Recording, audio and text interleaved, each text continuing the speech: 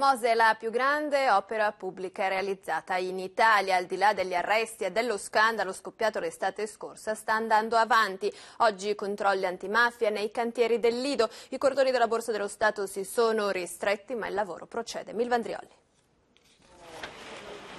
Per i 50 anni dell'Acqua Granda, il 6 novembre del 2016, il Mose non sarà in funzione, ma se il rullino di marcia non subirà intoppi, la data sarà comunque vicina.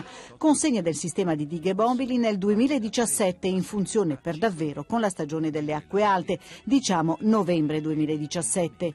Un contributo sulla strada della realizzazione della più grande opera pubblica è arrivata dalla legge di stabilità che spalma su quattro anni 401 milioni di euro.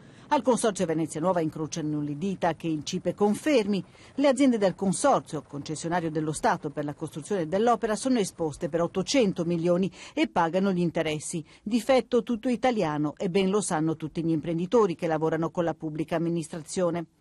A frenare il Mose non sarà certo la bomba di 500 libre rinvenuta davanti all'isola di Sant'Andrea, ma altre mine vaganti legate alle gare europee bandite per le paratie e per gli impianti dall'antincendio all'aria condizionata e agli eventuali ricorsi alla giustizia amministrativa.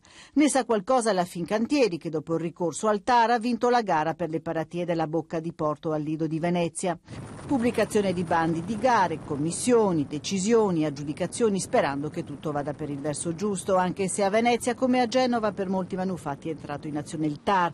Basti ricordare il travaglio per il Teatro La Fenice. Se il 2017 sarà l'anno del Mose, dalla posa della prima pietra saranno passati 14 anni. Costo del Mose, chiavi in mano, 5 miliardi e 493 milioni di euro.